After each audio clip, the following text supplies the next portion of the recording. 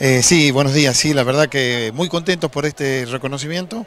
Eh, la verdad que es muy lindo, es una caricia del alma, sobre todo para los chicos, eh, después de haber representado por más de dos meses a Jujuy y a la Argentina en festivales por Europa, que tu ciudad te reconozca a través de, del Consejo Deliberante es muy lindo para ellos y para nosotros también, por supuesto.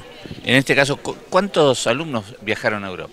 este año la delegación estuvo compuesta por 29 personas eh, y estuvimos participando en festivales internacionales de folclore en Grecia, Italia, España y Portugal. Y también estuvimos paseando un poquitito por Francia para que los chicos pudieran conocer. Bueno, esto forma parte ya de la tradición de Mucho. Sí, en nuestra décima sexta gira, gracias a Dios, eh, representando a Jujuy y a la Argentina en festivales a nivel internacional. Y ahora tenemos previsto para el fin de semana largo del 12 al 16 participar en un festival internacional de folclore que se va a llevar a cabo en las termas de Río Hondo. Un ballet histórico eh, con base en nuestra ciudad eh, que nos representa a nivel internacional también.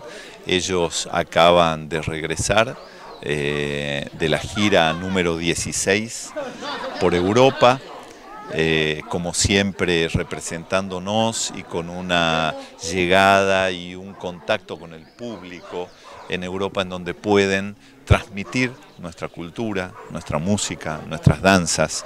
Eh, por eso hemos decidido reconocerlos, recibirlos y hemos tenido eh, hoy, eh, hemos, hemos contado con su grata presencia aquí en el Consejo Deliberante. Esto forma parte de la tarea del deliberante, permanentemente estar atento a todas las actividades culturales y darle el reconocimiento que merece. Así es, desde la Comisión de Cultura siempre propiciamos esta línea de trabajo del Consejo Deliberante, que es estar en contacto con la comunidad artística, eh, reconocer el gran trabajo que se realiza en nuestra ciudad por parte eh, de los creadores, por parte de quienes hacen día a día la cultura de la ciudad.